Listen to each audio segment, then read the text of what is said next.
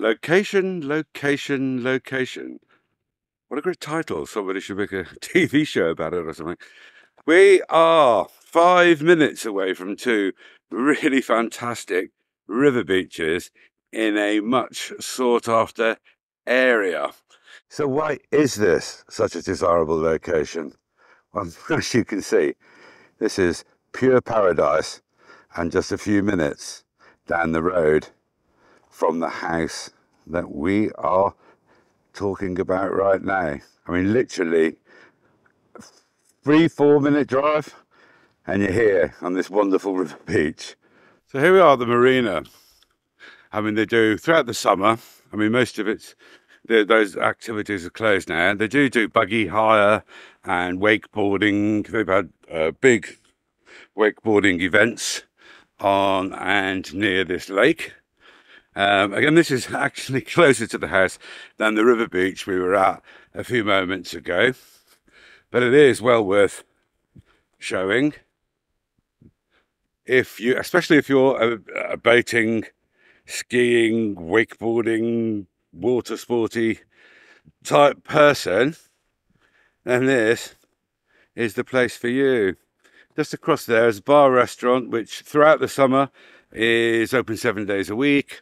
But uh, from uh, this weekend on, or last weekend on, it's actually only open on the Saturday and Sunday. Across across there is a fantastic river beach on, on the island. I mean, you know, fantastic, they're all fantastic. And that boat there on the end, for a couple of euros, and it runs every hour, acts as a water taxi across to the islands. So if you fancy spending, you know, an hour, two hours, three hours, picnic on the island, then that's available to do that.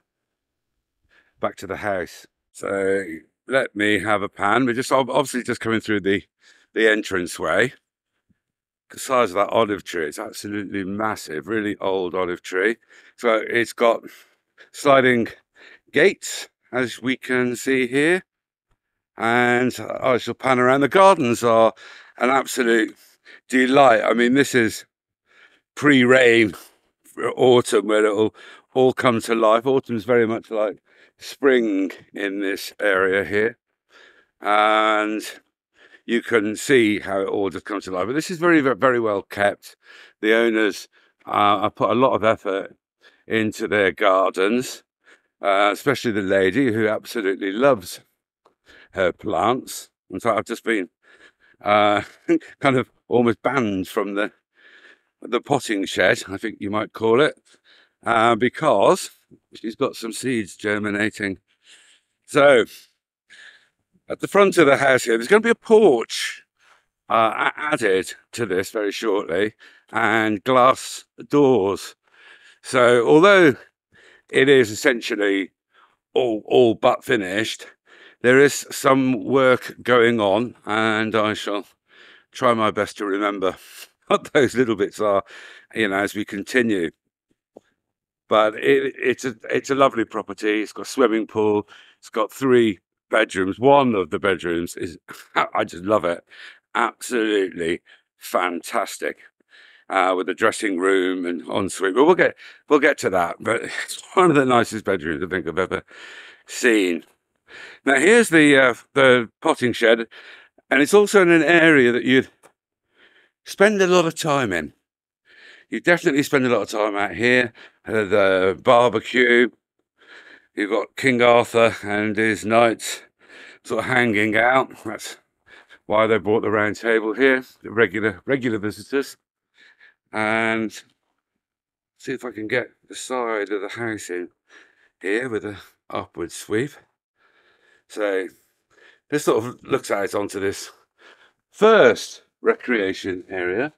Um, we've got someone scurrying for cover here, but this is um, currently used, I think, as a potting shed, but um, it could obviously just as easily be any kind of workshop that you wish it to be.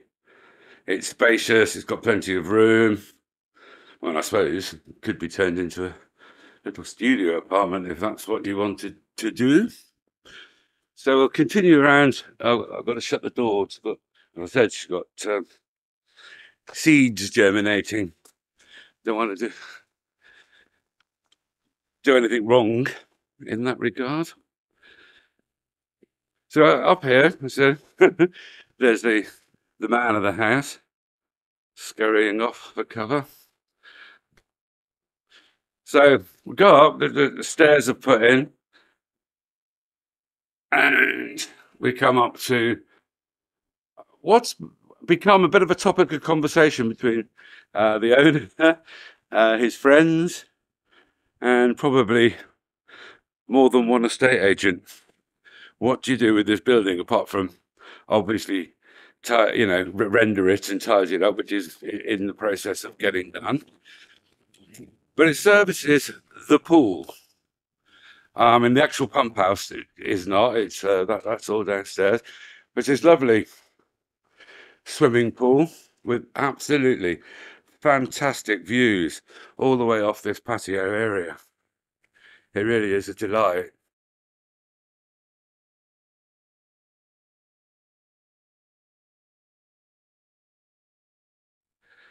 Just also like to mention, we are listing properties at an enormous rate of knots at the moment. So if you do want to keep up, do like the video and subscribe to the channel. This is going to be a bathroom. It is pre-installed for a bathroom. All the plumbing is in. So it's going to be uh, plasterboarded out and finished. And there will be a bathroom. There's also going to be a, another central post put in here, which would make it easy to uh, close off the uh, the, the building and well, they use it as an office or a winter lounge, summer lounge. Well, maybe not a summer lounge, but it'd make a really good winter lounge. So they've got views of the pool. The land goes all the way back there. You can see the boat. I'm going to take you over there and take a look because you get a better look at the garden. It's an outside shower here as you can see, which services the lower pool. Um, I can never decide which is my best route, but I think I think we'll go this way. And we shall walk up. As you as you can see, we've still got the the concrete mixer and little bits left over. Um, because he's been working really, really hard the last year to get everything finished. And he's nearly there. Very nearly there. There's just a few more jobs. And he's been doing much of the work himself. So um, he, he gets obviously gets specialists in where uh, the skill levels get beyond him. But uh, as you can see, he's also vehicular access from the road on the other side. So, which would be really handy, of course, if you wanted to get a boat out. Now, obviously, a lot of people have boats in this area, for the simple reason you are five minutes from from the lakes, which are a natural wonder. I mean, they they genuinely are one of Portugal's finest assets. Are the lakes in this area? They are absolutely stunning. You can see by the terrain and the long distance views. Just what a beautiful area we're in. And what a desirable residence we're in. You can see the, the quality of the villas um, in, in the local area. There's very little left here. There's no derelict barns and buildings and all the rest of it. All scant few. Let's just put it that way. There are leftover um, building materials and, and, what have you all over the place, but I'm sure that they'll all be tidied away. We still see the original excavations here because um, this must have been all cut away with a very large machine. Yeah, all of this, all of this, will be taken away and all the little bits finished um, all, all included within the price, of course.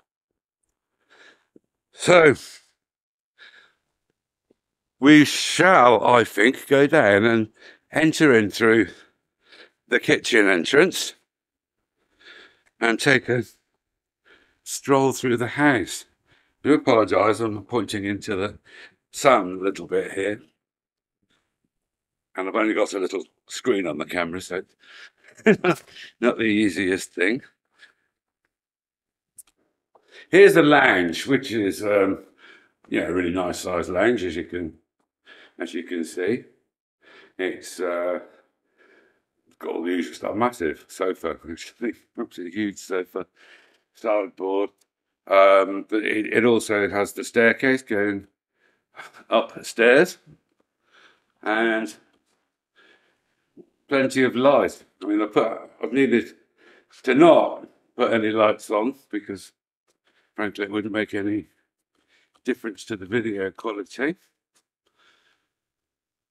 Here's the the doorway into the dining area of the kitchen because it is a kitchen diner. You've got like a, a I mean, I'd call it a Welsh dresser, but it's probably got nothing to do whatsoever with Wales. And the kitchen, which is fully equipped. There is space for a larger cooker. Um, you could put a range into the space, but it's got, you know, American fridge, oven, microwave, plenty of storage, and it's got, you know, fairly standard four-in cooker there, but it is big enough that you could put a larger one if you required that. It, it's all done with really good quality um, tops and cupboards and drawers. It is a really, really nice place to be. I can imagine cooking here, entertaining my guests, sitting here, then maybe taking it outside in the summer, or of course in the winter we might stay here. This is a really nice place to relax, watch your favourite TV shows, um, whatever it is you do to relax. So here's the the stairs, and they go up, of course, onto a very nice landing area. There. Actually reminds me of a hotel I worked. I used to, used to press the linen on an area just like this. Very, very long time ago. Now, and do you know what? I'm going to leave the best bedroom to the last minute. So let's um, let's go down here. There's absolutely nothing wrong with these bedrooms either. Now, here we here we are. It's a perfectly uh, normal, good double-sized bedroom. There's the patio space that we just walked through, just around the corner, of course, is that area that could be that is the pool, and could be turned into whatever you like to turn it into with that rather large uh, building that we filmed a few moments ago. Again, big double bedroom with an emperor sized bed in it, just to give it context. Uh, also leads, this one leads directly out onto the pool. So there you have it. a glimpse of the views and repurposed wardrobe, all nicely painted and trimmed, and all the rest of it. So let's go into that master bedroom I spoke to you about a moment ago.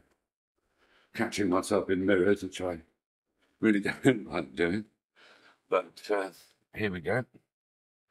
This bedroom is absolutely massive. Really is.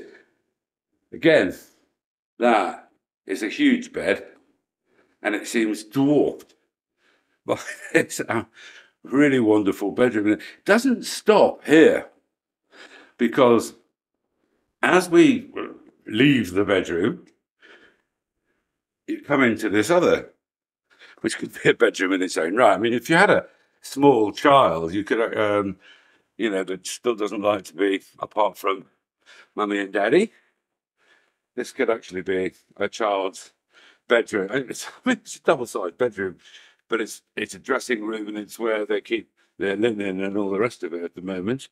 But it, it really doesn't have to be that. And here is the the ensuite that goes with it. So it's probably a little, little trouble fitting it to the shower curtain. They're on their fourth attempt at the moment. They're waiting for delivery. Everyone that they've ordered hasn't quite fit. But um, so I mean, it's a beautiful villa and a beautiful and much sought after location. Now I do have a feeling I did the bedroom and I didn't do the bathroom. So I'm going to do that now. So here's the bathroom. Is like the the family or the main bathroom. Of course, there will be another bathroom down at the pool area, outside bathroom. So we've got three bedrooms, two bathrooms, a very nice shower actually, and the tiles were wonderful. I like the tiles throughout this house. And I don't know if you're, you're confused about it. Sarah would have made much more of the tiles, I'm, I'm sure, as, as she does. So, um, I shall say adios and see you soon. Please do like and subscribe.